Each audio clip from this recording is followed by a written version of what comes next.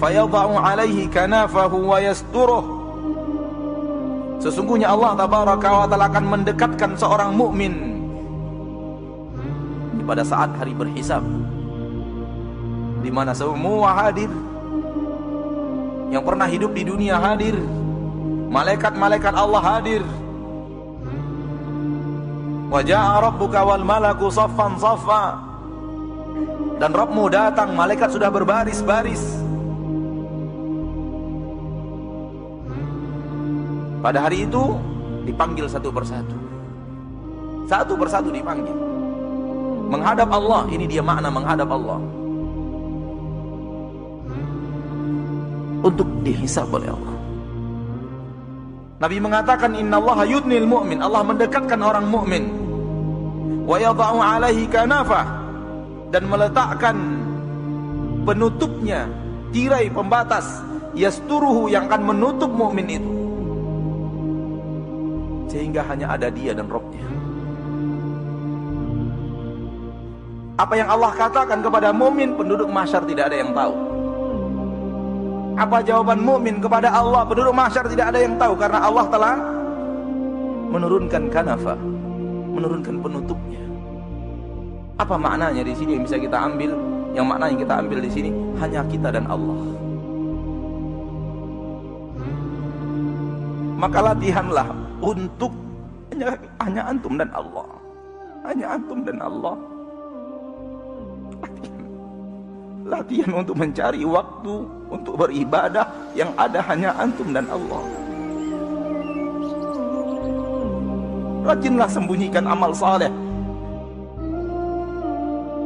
Rajinlah sholat tahajud di malam hari. Karena ketika antum tahajud hanya ada antum dan Allah di mana semua manusia tidak tahu apa yang antum kerjakan. Rajin baca Al-Quran di kesendirian. Semangat membaca Al-Quran ketika sendiri.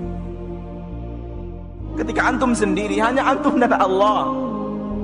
Ada saatnya nanti di akhirat hanya antum dan Allah. Maka latihan, latihan di dunia saudaraku. Jangan kita hanya beramal ketika ada orang. Setelah orang tidak ada, kita pun tinggalkan amal itu. Kalau ataupun kita kerjakan amal di saat orang tidak ada, kita bermalas-malasan. Tidak seperti semangat kita ketika ada orang lain. Latihanlah.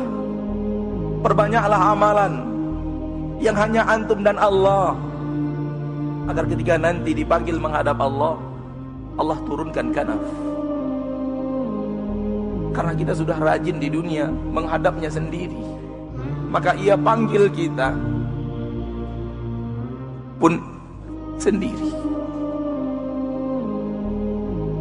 Kemudian Allah berkata kepadanya Ata'rifu dzamba kadza Apakah engkau tahu dosamu yang ini? Ata'rifu dzamba kadza Apakah kamu tahu dosamu yang ini? Allah sebut dosa-dosa kita saudaraku Allah yang menyebutnya kepada kita. Tidak menunggu laporan malaikat. Apakah kamu pernah melakukan ini? Apakah kamu masih ingat dosa yang ini dosa yang ini dosa yang ini dan berapa dosa kita? Berapa kita sudah melakukan maksiat kepada Allah? Fayaqul. Ketika itu dia seorang mukmin mengatakan na'am ay rabbi benar wahai rabbku benar wahai rabbku setiap Allah mengatakan, "Kaukah bukankah engkau melakukan dosa ini?" Orang mukmin menjawab, "Benar wahai Rabbku, benar wahai Rabbku." Hatta idza qarrarahu bidzunubi sehingga dia ketika dia telah menyampaikan dan mengakui dosa-dosanya wa ra'a fi nafsihi annahu halak dan dia sudah yakin dan merasa di dalam dirinya dia akan hancur dan binasa Kenapa?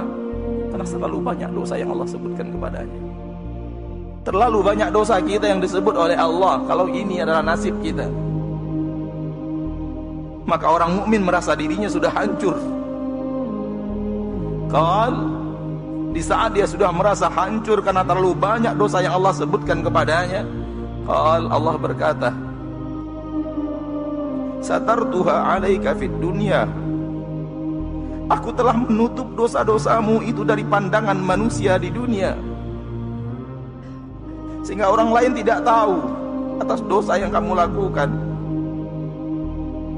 Satartuha alaika fid dunya. Aku tutup dosamu itu di dunia. Wa ana aghfiruha lakal yaum. Pada hari ini aku ampuni dosa-dosamu itu. Ya akhi antum berbuat maksiat, kita berbuat maksiat. Dan orang tidak tahu bukan karena kita pandai menyimpannya Namun murni karena Allah menutupnya. Kalau Allah membukanya dengan sekejap mata Allah bisa lakukan apa pun untuk membuka aib kita. Wallahi, wallahi, wallahi. Kalau aib kita dibuka oleh Allah Kita akan diludahi manusia. Begitulah kita dengan dosa kita yang terlalu banyak Demi Allah tidak akan ada orang yang menghargai kita kalau orang tahu apa yang kita lakukan. Namun Allah pengasih dan penyayang yang menyayangi kita dengan menutup aib-aib kita. Maka jangan pernah merasa menjadi manusia suci. Jujurlah kepada diri antum dan jujurlah kepada Allah apa yang telah antum lakukan. Jujur kepada diri sendiri apa yang telah kita lakukan. Dan bagaimana kalau yang kita lakukan itu orang tahu? Allah bukakan.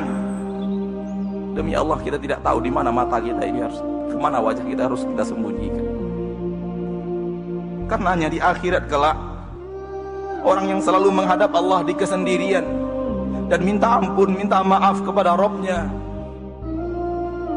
Mereka lah yang akan mendapatkan apa yang dikatakan Rasulullah SAW dalam hadis yang sahih dari Imam Bukhari dan Muslim ini. Allah panggil menghadap. Allah turunkan penutup. Hanya dia dan Robnya. Hanya dia dan Robnya. Ya akhir rajin-rajinlah antum melakukan amalan. Hanya antum dan Rob antum. Yang lain tidak ada. Istri tidak ada. Anak tidak ada. Saudara tidak ada. Sahabat tidak ada. Tak ada manusia. Kecuali hanya anda dan Allah. Supaya di akhirat itu yang Allah akan lakukan kepada kita. Rajin-rajinlah minta ampun di dunia supaya di akhirat benar-benar ketika kita minta maaf kepada Allah, Allah maafkan dosa dan kesalahan kita. Nabi melanjutkan wa ammal kafir Adapun orang kafir wal munafiqun dan orang-orang munafik fayaqulul ashhad berkata saksi-saksi mereka tidak diturunkan penutup dikata saksi-saksi haula illa haula illadzina kadzabu. Haula illadzina kadzabu ala rabbihim. Mereka orang-orang yang telah mendustakan Rabb mereka. Ala la'natullahi ala zalimin. Ketahuilah bahwa laknat Allah untuk orang-orang yang zalim. Orang zalim orang musyrik orang kafir orang munafik yang benar-benar munafik tidak diturunkan penutup. Allah menyampaikan kepadanya dosa-dosanya di hadapan orang ramai. Dan bukan orang ramai seramai ini dari mulai manusia pertama Nabi Adam sampai manusia terakhir yang mati dengan datangnya hari kiamat.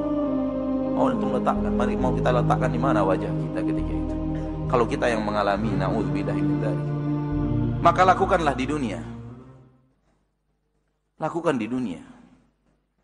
Sebelum saatnya kita ingin melakukan namun tidak ada kesempatan untuk melakukannya